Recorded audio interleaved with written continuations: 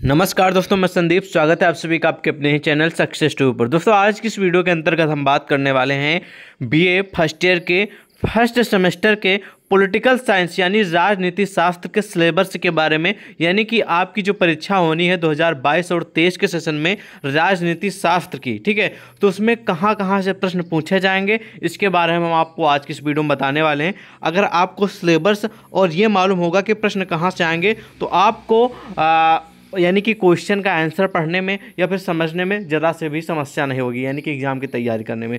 तो हम आपको बताएँगे कहाँ कहाँ से प्रश्न और किस किस टॉपिक से रिलेटेड प्रश्न आने वाले हैं। तो चलिए बढ़ते हैं वीडियो में आगे। तो मैंने आपको बता दिया बीए फ़र्स्ट ईयर के फ़र्स्ट सेमेस्टर के 2022 और तेईस के सेशन में जो परीक्षा, जो भी छात्र परीक्षा देने वाले हैं, वो ध्यान से समझे। तो जो ये सिलेबस है, वो आठ यूनिट में डिवाइड किया गया है, यानी कि आठ यूनिट में है। ठीक है? तो पहला यूनिट जो है, उसमें कहाँ से प्रश्न आएँगे, किस प्रकार के आएँगे हम आपको बताते हैं। पहला यूनिट नंबर एक कि भारतीय राष्ट्रीय आंदोलन में जन्म वृद्धि और राजनीतिक रुझान। यानी कि जो भारतीय राष्ट्रीय आंदोलन में जन्म वृद्धि और राजनीतिक रुझान के बारे में आपको लिखना है, इससे जुड़े प्रश्न आएँगे, ठीक है, भारतीय राष्ट्रीय आंदोलन से जुड़े। तो कुल मिला के अगर आपको इसके बारे में लिखने के लिए दे दिया जाए तो आपको कुछ इस प्रकार लिखना है कि भारतीय राष्ट्रीय जो आंदोलन है, ठीक है भारतीय राष्ट्रीय जो आंदोलन है, एक प्रकार से मान लीजिए कि सन अट्ठारह में भारतीय राष्ट्रीय कांग्रेस की न्यू पड़ी। ध्यान दीजिएगा, पहले समझिएगा। वो दौर था दिसंबर का अट्ठारह में भारतीय राष्ट्रीय कांग्रेस जो थी, उसकी न्यू डाली गई, यानी कि स्थापना हुई। आगे चलकर इसी के नेतृत्व में विदेशी शासन से स्वतंत्रता के लिए भारतीयों ने एक लंबा और साहसपूर्ण संघर्ष चलाया। और अंत में 15 अगस्त उन्नीस सौ सैंतालीस को भारत मुक्त हो गया, यानी कि कांग्रेसों से, ठीक है? ओ, सॉरी, अंग्रेज़ों से, ठीक है? 15 अगस्त उन्नीस को अपना देश आज़ाद हो गया किन लोगों से? जो हमारे देश को खाली करने में लगे थे, ठीक है? काफ़ी खाली भी किया, यानी कि विदेशी लोग, अंग्रेज़ लोग। वास्तव में ये देखा जाए तो भारतीय, वास्तव में अगर इस हिसाब से देखा जाए तो भारत के राष्ट्रीय आंदोलन का इतिहास कांग्रेस का इतिहास है। भारतीय, भारत के राष्ट्रीय आंदोलन का इतिहास कांग्रेस का इतिहास है। तो आपको कुछ इस प्रकार लिखना है। मैंने हिंट दे दिया, आगे आप लोग सिलेबस के बारे में अच्छे से पढ़ लेंगे और तो आपको आसानी से समझ में आ गया। सारे सिलेबस को उठा के आप लोग कॉपी पेस्ट गूगल पे कर लीजिएगा तो आपको वहाँ पर सारे उत्तर मिल जाएँगे, ठीक है? और फिर आप लोगों की बुक में क्वेश्चन बैंक सीरीज़ खरीदेंगे तो वहाँ से भी आपको आइडिया लग जाएगा ओके तो दूसरा नंबर जो यूनिट है, इसमें कहाँ से प्रश्न आएँगे? लिखा है कि भारत के संविधान, सभा दर्शन के संवैधानिक विकास का चरण संविधान नागरिकता के बारे में लिखना है, ठीक है? यानी कि जो संवैधानिक विकास है, उसके चरण कितने हैं, ठीक है? उसके बारे में आपको लिखना है। तो आपकी जानकारी के लिए हम बता दें कि जो भारतीय संवैधानिक जो विकास के जो चरण हैं, वो कई सारे हैं। तो आपको अपने उत्तर जो भी आपके पास बुक है, उसमें से पढ़ लीजिएगा। तो मैं आपको थोड़ा बताना चाहूँगा कि जो भारतीय संवैधानिक विकास के जो चरण हैं, ठीक है, उनके बारे में। तो आपको लिखना है कि संविधान एक लिखित दस्तावेज़ है। आप सभी को मालूम है कि संविधान किसने लिखा है और वो किस प्रकार लिखे हैं, ठीक है? आपके डॉक्टर भीमराव अंबेडकर जी ने लिखा है और इन्होंने संविधान एक लिखित दस्तावेज़ है, ठीक है? यानी कि रिटर्न हाथ से लिखा गया है, ठीक है? जिसमें शासन व्यवस्था से संबंधित विभिन्न नियम तथा उपनियम है। यानी कि जो शासन है, जो हमारी गवर्नमेंट है, ठीक है या फिर जो प्रक्रिया है समाज की या फिर सर, केंद्र की या फिर सरकार की, जो भी आप लोग कह लीजिए, ठीक है? तो उसको चलाने के लिए विभिन्न नियम और कानून या फिर उपनियम लगाए गए हैं। तो वही मैं आपको बता रहा हूँ कि जिसमें शासन व्यवस्था से संबंधित विभिन्न नियम तथा उपनियम होते हैं संविधान के अनुसार ही सरकार का संचालन किया जाता है। यानी कि संविधान को मद्देनज़र रखते हुए सरकार का संचालन, यानी कि सरकार को सिलेक्ट किया जाता है वोटिंग होती है, ठीक है? उसके बाद संविधान के अकॉर्डिंग ही किसको सिलेक्ट करना है, किसको रिजेक्ट करना है, ठीक है? वो डिसाइड किया जाता है, ठीक है? और संविधान के अनुसार देश की राजनीतिक व्यवस्था का बुनियाद ढांचा निर्धारित किया जाता है। यानी कि संविधान में जो आप लोगों को मालूम कि बहुत सारे अनुच्छेद हैं तो उसी के अनुसार संविधान के अनुसार ही देश की जो राजनीतिक है, यानी कि पॉलिटिकल दुनिया है आपकी पॉलिटिकल वर्ल्ड है ओके तो उसकी जो व्यवस्था होती है, किस प्रकार होनी चाहिए, उसकी जो यानी कि आप लोग मान लीजिए आप इलेक्शन पड़ता है, ठीक है? वो मान लीजिए प्रधानमंत्री का, ठीक है? केंद्र सरकार का। तो वहाँ पर क्या क्या नियम होते हैं? आप सभी को मालूम है कि पहले जनता को बताया जाता है और फिर जनता वोटिंग करती है, फिर उसके बाद डिसाइड किया जाता है, वो किस हिसाब से होता है, वो संविधान में लिखा है कि इन लोगों से यानी कि जनता द्वारा वोटिंग होनी चाहिए, फिर उसके बाद आगे का प्रोसेस कैसे होना चाहिए, फिर किसको नियुक्त, यानी कि उसके लिए कौन एलिजिबल है, कौन एलिजिबल नहीं है तो ये सारी चीज़ें आपके संविधान में लिखी हैं कि कौन उसके लिए यानी कि प्रधानमंत्री जो पद है, उसके लिए कौन उम्मीदवार है, कौन नहीं है तो ये सारी चीज़ें इसके अंतर्गत आ जाती हैं, संविधान। तो कुल मिला के इसी के बारे में आपको लिखना है, यूनिट नंबर सेकेंड में। अगला है कि मौलिक अधिकार, यानी कि जो यूनिट नंबर तीन है, इसमें है कि मौलिक अधिकार, मौलिक कर्तव्य, राज्य के नीति निर्देशक सिद्धांत, यानी कि जो आपके संविधान के जो मौलिक अधिकार हैं, वो कौन कौन से हैं? मौलिक कर्तव्य कौन कौन से हैं? इसके बारे में पढ़ना है। राज्य के नीति निर्देशक सिद्धांत क्या क्या हैं, वो आपको पढ़ना है, ठीक है? तो ये यूनिट नंबर थ्री में आ जाएगा। तो आपको मैं बता दूँ, जो यूनिट नंबर थ्री है, इसमें से बहुत सारे प्रश्न आने वाले हैं, मौलिक अधिकार और मौलिक कर्तव्य और राज्य के नीति निर्देशक सिद्धांत भी। तो इस यूनिट को आप लोग अच्छे से पढ़ लीजिएगा, ठीक है? बहुत ही इंपॉर्टेंट यूनिट है ये। अगला है यूनिट नंबर फोर कि मौलिक अधिकारों और निर्देशक।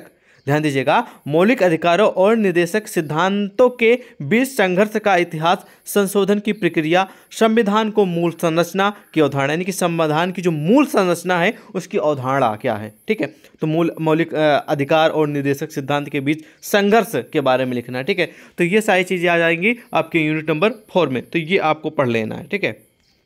अगला है यूनिट नंबर फाइव संघ कार्यकारी और संघ विधायिका अध्यक्ष कैबिनेट विधायिका अध्यक्ष कैबिनेट, प्रधानमंत्री, लोकसभा, राज्यसभा चुनाव अध्यक्ष यानी कि कुल मिला के यूनिट नंबर पाँच बहुत ही हाई लेवल का है, क्योंकि इसमें प्रश्न आने वाले हैं आपके संघ कार्यकारी, ठीक, कार्यकारी से जुड़े, संघ विधायिका अध्यक्ष से जुड़े क्वेश्चन आएँगे, कैबिनेट से जुड़े प्रश्न आएँगे, कैबिनेट क्या होता है, ठीक है? प्रधानमंत्री के बारे में आएगा कि प्रधानमंत्री की योग्यता क्या होना चाहिए उम्मीदवार के लिए और वो कैसे उसकी प्रक्रिया होती कैसा चुनाव लड़ा जाता है, उसके बारे में प्रश्न आ सकता है, ठीक है? लेकिन आएगा ज़रूर प्रधानमंत्री से जुड़ा।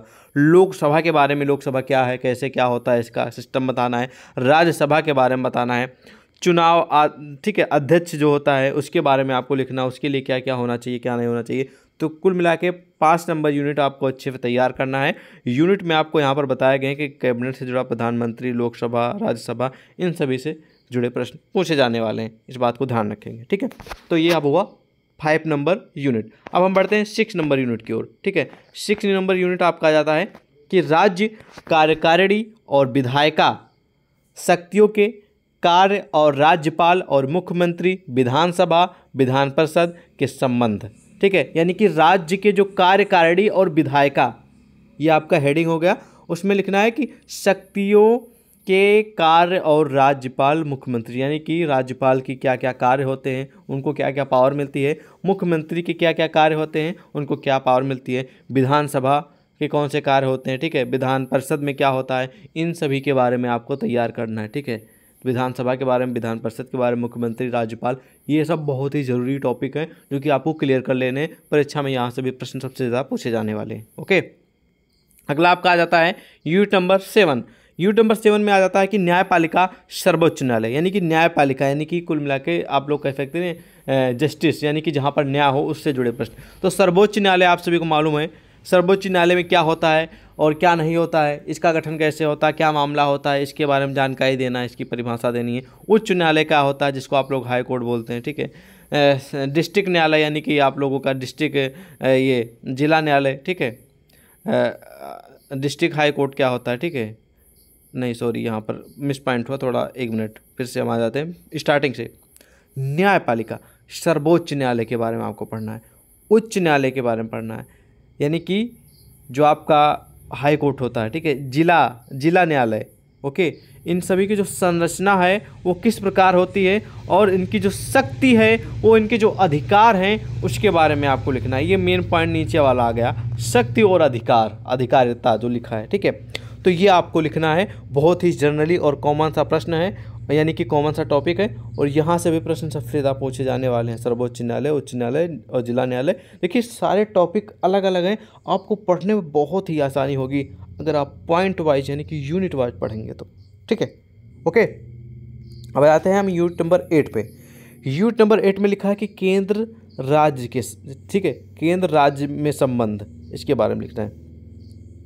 तो यहाँ पर है, प्रशासनिक, विधायी और वित्तीय आदि ठीक है, वित्तीय आदिवासी क्षेत्रों के लिए विशेष प्रावधान और पूर्वोत्तर चुनाव आयोग संरचना कार्य और शक्ति। ठीक है, चुनाव आयोग की कैसे संरचना होती है, उसके क्या कार्य होते हैं, क्या पावर होता है आदिवासी क्षेत्र के लिए क्या सिस्टम है और अन्य स्थानों के लिए क्या सिस्टम है, प्रशासनिक ठीक है विधेयी और वित्तीय के बारे में आपको लिखना है। यानी कि कुल मिला के यहाँ पर मेन पॉइंट आपको यह ध्यान देना है कि प्रावधान और पूर्वोत्तर चुनाव आयोग की संरचना और उसकी शक्ति और उसके कार्य के बारे में, ठीक है? और आदिवासी क्षेत्र के लिए क्या क्या प्रावधान होने चाहिए वो लिखना है। और पूर्वोत्तर, यानी कि आदिवासी क्षेत्र और पूर्वोत्तर, इन दोनों को आपको ध्यान देना है। बहुत ही हाई लेवल का और जनरली क्वेश्चन कुछ प्रश्न यहाँ से भी पूछे जाएँगे। लेकिन जो जो हाई टॉपिक थे, मैंने आपको बताया ही, जैसे कि यूनिट नंबर आपका थर्ड था, वहाँ से सबसे ज़्यादा प्रश्न आएँगे। सेवन नंबर यूनिट है, यहाँ से भी प्रश्न आएँगे। फाइव और सिक्स है यहाँ से भी ज़्यादा प्रश्न पूछे जाएँगे। तो ये पूरा का पूरा सिलेबस रहा। यहाँ यहाँ से आपको प्रश्न पढ़ लेना है, इनके बारे में पढ़ लेना है तो आपको काफ़ी मतलब कि परेशानी नहीं मतलब ज़्यादा परेशानी नहीं होगी, आपको काफ़ी अच्छे समझ में आएगा, ठीक है? और मैं आपको बता दूँ, इन सभी से जुड़े जो प्रश्न हैं क्वेश्चन आंसर वाइज सीरीज़ वो जल्द आप लोगों के सामने हम लेकर आएँगे। लेकिन मैंने सोचा पहले आप लोगों को सिलेबस तो क्लियर हो जाना चाहिए कि सिलेबस में मतलब कि कहाँ कहाँ से क्या क्या पूछा जाएगा। जैसे कि मान लो आपको मैंने प्रश्न दिया कि मान लीजिए मैंने क्लास स्टार्ट कर दी, मैंने कहा, उसमें प्रश्न आ गया कि मान लीजिए मुख्यमंत्री, ठीक है, मुख्यमंत्री के कार्य बताइए और उनके पावर क्या होते हैं और उनके अधिकार क्या होते हैं इसके बारे में। तो आप सोचेंगे कि ये तो क्या आ गया। अगर आप लोग टॉप, ये आप सिलेबस पढ़े रहेंगे तो आपको ध्यान आ जाएगा कि हाँ ये राजनीतिक जो शास्त्र है, उसके सिलेबस में इसके बारे में था इसलिए प्रश्न आया है। ठीक है तो आपको तुरंत समझ में आ जाएगा। तो ये सारी सारी चीज़ें होती हैं अगर आप लोग ऐसे पढ़ेंगे तो काफ़ी आपको हेल्प मिलेगी। और आ, बाकी आप लोग समझदार हैं बीए के छात्र हैं तो एक्सपर्ट हैं। आई होप आपको वीडियो अच्छी लगी होगी लाइक करिएगा। अगर आपको कोई और क्वेश्चन है तो कमेंट करके पूछें हम आपको मिलते हैं नेक्स्ट वीडियो में तब तक के लिए जय हिंद। और भी नए सिलेबस के साथ। ठीक है?